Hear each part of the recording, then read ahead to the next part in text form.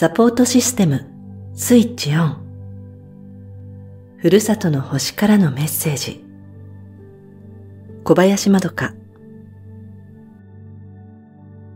最終章。あなたへ。ありがとう。実は目に見えない世界について興味があるということを周りに言うことに長い間躊躇していました。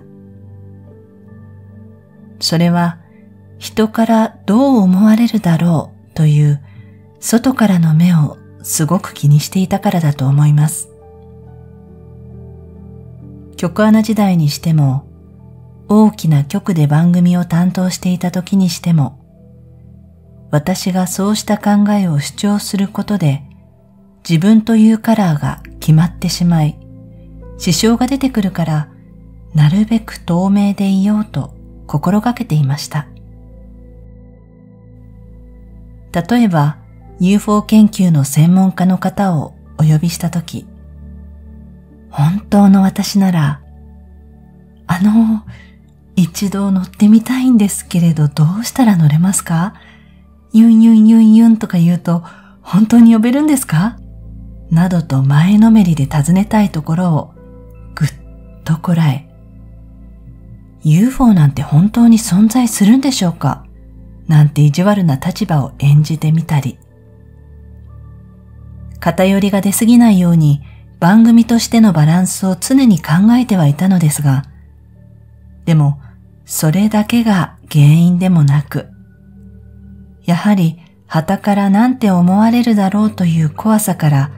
そんな自分を隠していました。2015年のサポートシステムスイッチオンを皮切りに、いろいろ不思議な出来事や出会いが続きました。2016年に京都の貴船神社に参拝に伺った時、自分の身に起きた出来事もとっても不思議で、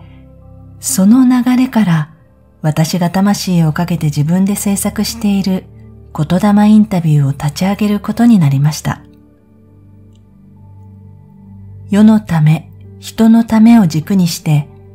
自分なりにできることとして、世の中の人たちが生きることに対して希望を感じられるようなものを作りたかった。成功しているあの人が特別なのではなく、どんなに今輝いて成功している人でも、辛く苦しい闇の時代があり、みんなと同じように様々な経験を経て今があるんだということを少しでも感じられるようなインタビュー番組を作りたい。そう思ったのです。と同時に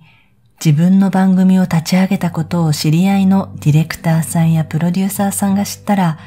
なんて言うかなという後ろ向きな思考の言葉が響いて、正直怖さもありました。影で私の番組に対して何を言われるかわからなくて、本当に怖かった。でも、立ち上げてしまえば、ただひたすらに突っ走っていくモードに入り、機材を持って収録に出かけ、帰宅してからすぐ編集作業。早く番組にしたくて自分のことを止められなくなるくらい没頭していました。これがワクワクで生きるということなのかと生まれて初めて知りました。それまでのインタビュー現場と明確に違うことは、すべて自分で決められるということ。自分でゲストを決めて聞きたいことをインタビューできる。それが幸せで楽しくて、しかも批判的な立場としてでなく、自分が心から興味があるんですという立場で、目に見えない世界に精通している方もお迎えできる。やっと自分の命の使い方ができ始めてきたなと思える。そんな番組でした。そこから私の人生はグワンとエンジンがかかり出し、気づけば根性では経験しないだろうなと思っていた結婚、出産などが自分の身に降りかかってきました。命の使い方、使命に取り組み始めると予想外の展開が起きるのかもしれません。これは私が特別だからということではなく、自分自身が没頭できるくらい何かに情熱を注いでいると、誰もがブループリントにも書いてこなかったエキサイティングなありえない展開が起きて、より深く自分自身を生きられるようになると、私は自分の経験からそう信じています。なぜなら、私の人生こんなはずじゃないと思っていた私が、まさかの母親をやっているんですもん。これまでたくさんのセルフヒプノを通して多くの過去性を感じ癒してきました。過去世の壮大なストーリーはまた別の機会があればお伝えしようと思いますが、それもまた何が正解などはなく、自分がそう感じたのだからそれでいいのです。ところで、悩んで苦しくて悲しくて落ち込みまくっていた独身時代のある日、こんな言葉が降ってきました。あなたの今の状態が未来にも過去にも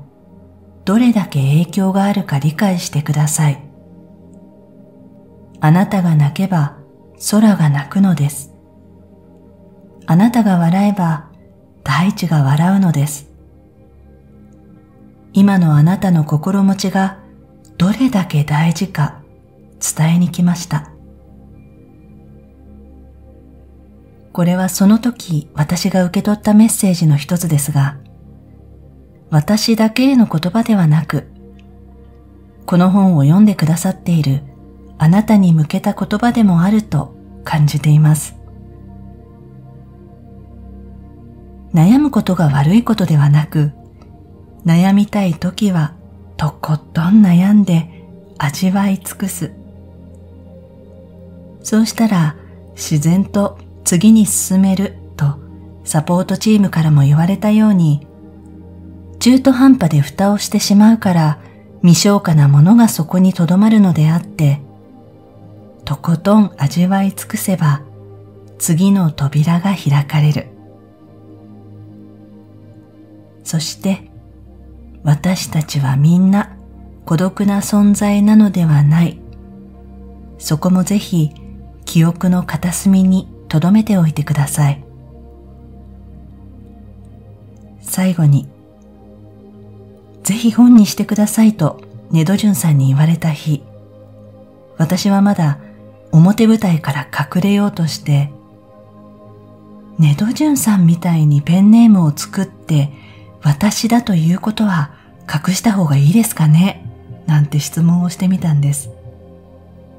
そうしたら、ネドジュンさんから、こんな経験をした私が言霊インタビューというこんな番組をしています。ということを知ったら、聞いている人もより楽しめるんじゃないかなと帰ってきました。まだ隠れようとしていました、私。恐れからは何も生まれないという言葉も降ってきたことがありますが、自分を信じて、とにかく本やオーディオブックなどの形にしてみる。私にとってはドキドキマックスの大きなチャレンジですが、サポートチームさんたちは本にまとめてもらうのも長らく待っていたそうなので、ひとまずやるだけやってみました。そして書き始めたら手が止まらず、はじめの叩き台の原稿を2日で書き切ってしまいました。さて、コンタクトが始まったことをごく限られた人にだけにはお伝えをしていたのですが、2016年にあるヒーラーの方にその話をしたら、星からのメッセージといきなりタイトルを当てられて、まどかさん、早くダウンロードして書き切ってしまったらいいですよ、なんて言われていて、それも今回ノートを見返したら記されていました。また、同じく2016年に、ある人に、このやりとりが果たして本当か自信ないけど、と話したら、よっぽど自分を信じていないんだね。上の人に怒られるよ。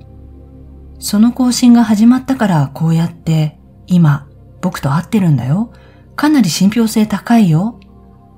こんな風に言われたこともありました。スイッチオンになると、そこからやっと出会えることになるご縁もあるんでしょうね。その時から8年の月日が経ってしまいましたが、まずはオーディオブックとして私の声で直接あなたにお届けしました。それにしても自分の人生振り返ると山あり谷ありジェットコースターでよくもまあなんとかここまでギブアップもせずに来たものです。第12章でも触れましたが、このサポートシステムスイッチオンのオーディオブックシリーズを制作し始めて、YouTube で配信し始めた頃、トントン拍子に坂本正道さんの言霊インタビューが決まりました。ぜひ坂本さんの前後編も合わせて聞いていただきたいのですが、私はこの地球で辛いことが多かったこの人生の答え合わせができました。何のために今私たちは地球という星にいるのか。とあなたにもなんで自分の人生こんな大変なことが起きるの？ああ、これまでの人生辛いことが多かったなどと感じることがあったかもしれません。それでいいんです。その詳しい答えが坂本さんの言霊インタビューの後編で語られていますが、あのインタビューをした日をきっかけに、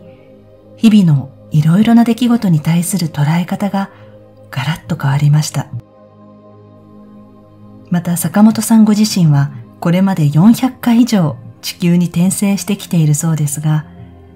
根性で地球は卒業とのこと。そのお話をインタビューでされていたとき、ポロッと坂本さんが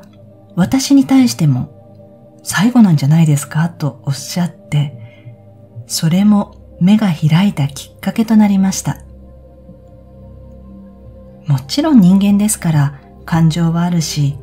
ロボットになったわけではないので、日常のあれやこれやにプンスカしたり落ち込んだりはありますが、そのもっと深くの根底にある自分の物事に対する捉え方が明確に変わったので、地球を改めていろんな経験ができるテーマパークだというふうに感じて今は生きています。もし今回が地球の経験ラストなのだとしたら、残されたこの地球での限りある時間を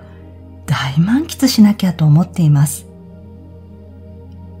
そう感じると不思議と私は悩んでいたこともこれっきりだって思えて視野が広くなれるんです。ぜひあなたもあなたのいる場所で思い切り人生を味わいながら生き切ってください。だって地球に来たくて行列をなしている魂が多い中生まれてこれたわけですから、四苦八苦も味わい尽くさないと。ということで、これまで私の人生に関わってくれたすべての人たち、ありがとう。この本を出すきっかけをくださったネドジュンさん、ありがとう。ご先祖様、家族のみんな、ありがとう。ずっと見守り続けてくれているサポートシステムの仲間たち、ありがとう。そして、最後まで読んでくださったあなたに、ありがとう。